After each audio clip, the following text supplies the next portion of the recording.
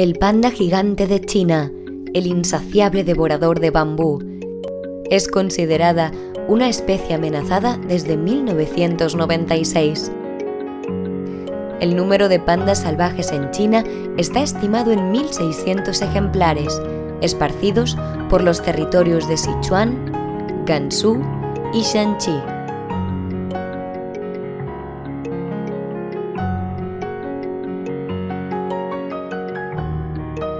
Se calcula además que existen 239 pandas gigantes en cautiverio y otros 20 especímenes distribuidos por los principales zoológicos del mundo.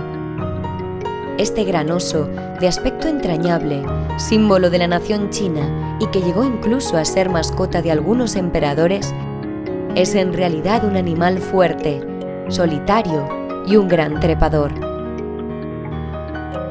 Entre las principales causas de la desaparición de este mamífero encontramos su dificultad para reproducirse, sobre todo cuando se encuentra en cautividad, la alta mortalidad de sus crías y, por supuesto, la destrucción de su hábitat natural. Ya se han talado en China miles de hectáreas de bosques de bambú, el cual es además su principal fuente de alimento, llegando a necesitar un panda adulto unos 12 kilos al día para poder sobrevivir.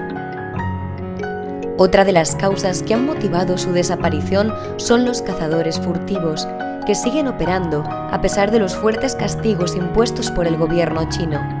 No obstante, en el año 2005 se consiguió la supervivencia de 25 crías nacidas en cautiverio, lo que se considera un gran paso para lograr evitar la extinción de este hermoso animal.